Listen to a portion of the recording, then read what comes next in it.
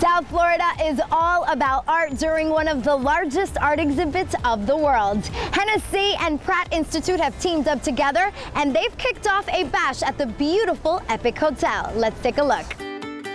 The intimate invite only affair was focused on honoring three students from the Pratt Institute. They were all winners in Hennessy's year long Never Stop, Never Settle art competition. The challenge The Wild Rabbit is about one's inner dream. It's about this passion that you have deep inside.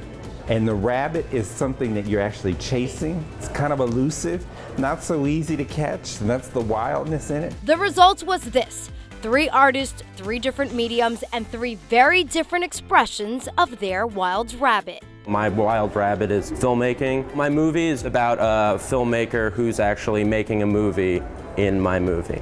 My wild rabbit is making art. I did a bike ride in Manhattan down to Coney Island. I photographed my journey and then I took the water from Coney Island and used that to make the prints of uh, the photographs that I took. I portrayed people involved in political movements in Brazil, Turkey, US, Occupy, and Greece. And in the case of my project, I think the mantra worked even better because it also portrayed people that are also chasing their wild rabbit. The young artists took time to explain their concepts to some of the art elite that Hennessy gathered to introduce them to the art world.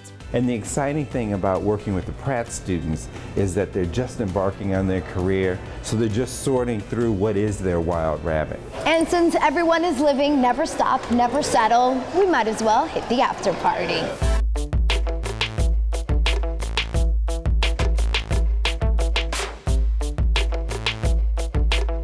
Fader and Hennessy took over the Ice Palace Studios in Miami's Design District.